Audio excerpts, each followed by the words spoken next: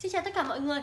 Như mọi người đã biết thì hiện nay trên thị trường có vô số các dòng máy rửa mặt khác nhau Và cũng có rất nhiều khách hàng đã nhắn tin sang bên mình. Thắc mắc là tại sao cái dòng mà Fora Luna Mini 2 bên mình lại có giá sale chỉ 349 nghìn, Trong khi họ xem có rất nhiều nơi bán giá hơn 1 triệu, Thậm chí là gần 2 triệu thì không biết là bên mình máy có đúng chính hãng không? Thì hôm nay mình sẽ thực hiện một thí nghiệm, Đó là mình sẽ sử dụng phần mềm iCheck Để check cái mã vạch trên máy Để xem máy mình có đúng là máy chính hãng hay không nhá. Thế sau đây mình sẽ check, Mọi người hãy cùng nhìn nhé đó. Sau khi check thì à, nó sẽ hiện ra tất cả thông tin về máy.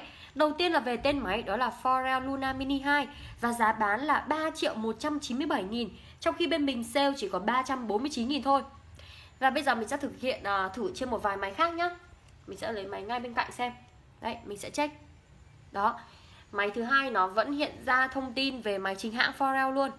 300 3 triệu 197 nghìn và mình sẽ thực hiện uh, tiếp tục thực hiện trên một máy nữa nhá. Mình sẽ chọn một máy phía dưới đi để uh, xem random xem máy này nó có đúng là chính hãng hay không. Đó.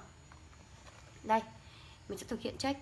Đó cái máy thứ ba là mình check thì nó vẫn ra giá là 3 triệu hơn 3 triệu nhá. Và vẫn là Forel Luna Mini 2 đó và máy bên mình là máy sách tay từ tận Thụy Điển. Thế nên là mỗi lần sách tay được à, chỉ cần được ừ, gần 100 máy thôi và để mọi người yên tâm hơn thì mình thực hiện, sau khi thực hiện thí nghiệm thì mọi người đã thấy được là máy mình hoàn toàn là máy chính hãng rồi nhá.